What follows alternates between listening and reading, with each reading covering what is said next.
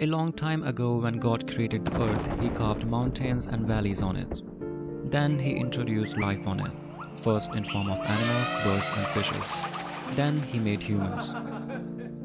One day, God decided to visit the earth to see how people are doing down there.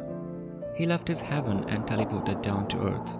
He lived among men in human form. Then He realized that the life on earth is hard and not luxurious as heaven. So he decided to make something for the enjoyment of those who work hard and give them a feeling like they are floating back in heaven. He thought and thought and Aha. finally came up with an idea of a beverage.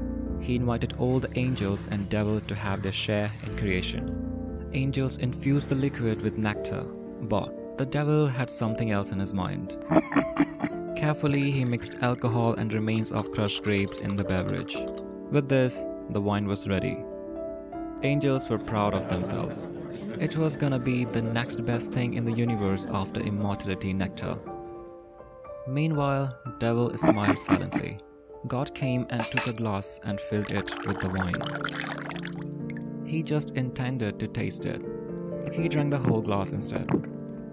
Then he took second glass, then third, and then fourth. After that, he stopped. He realized the work of Devil. He turned towards the devil and said, Those who will drink up to three glasses of wine would get my favor. The fourth glass is yours, and everyone exceeding that will be yours. And since that day, the fourth glass of wine came to be known as the glass of devil. People of Teneti community fear the fourth glass of wine. So whenever they drink at feast, they drink the fourth glass quickly and move on to the fifth glass. And devil still smiles at them. This is the legends and the lore where the myths and legends come alive.